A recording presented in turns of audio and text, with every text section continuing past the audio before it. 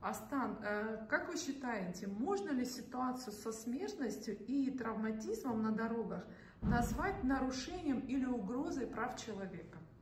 Э, на мой взгляд, э, в любой сфере, где государство не очень-то хорошо справляется со своими обязанностями, со своим функционалом, как минимум можно назвать ситуацией, угрожающей правам человека, поскольку государство это тот, ну, самый первый субъект, который должен обеспечивать эти самые права человека.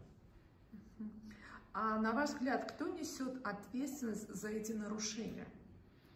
А, ну, если смотреть системно, то, опять-таки, на мой взгляд, э, тут очень большая роль, большая ответственность со стороны государственных органов, но если рассматривать, естественно, каждый конкретный случай, то тут уже э, каждый водитель автотранспортного средства, он несет ответственность за свои действия на дороге.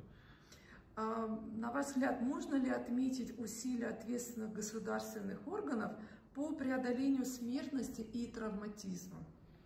А, усилия, конечно, можно отметить, но тут скорее, ну, лично для меня становится другой вопрос, насколько они, эти усилия, эффективны и приносят э, результат.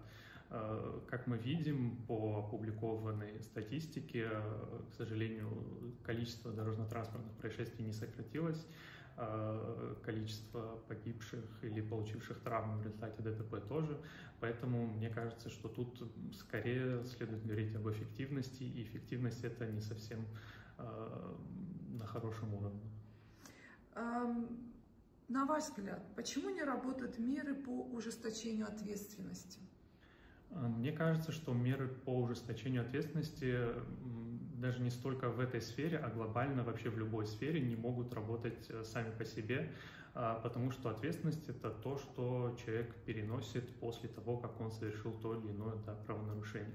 А, нам скорее, на мой взгляд, кажется, что нужно очень сильно работать над э, профилактикой, над превенцией совершения дорожно-транспортных а, происшествий.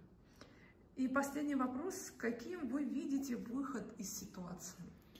Э, выход из ситуации, мне кажется, что опять-таки нужно применять такой э, многопрофильный какой-то подход, который предусматривал бы не только э, да, жесткие санкции, но и работу с населением, увеличение какой-то пропаганды безопасного движения, пропаганды альтернативных источников передвижения. То есть на самом деле в мире достаточно много примеров э, каких-то э, способов и решений, как можно справиться и снизить количество дорожно-транспортных происшествий не только путем ужесточения санкций. Мне кажется, что этот опыт можно перенимать э, и Абхазии в том числе.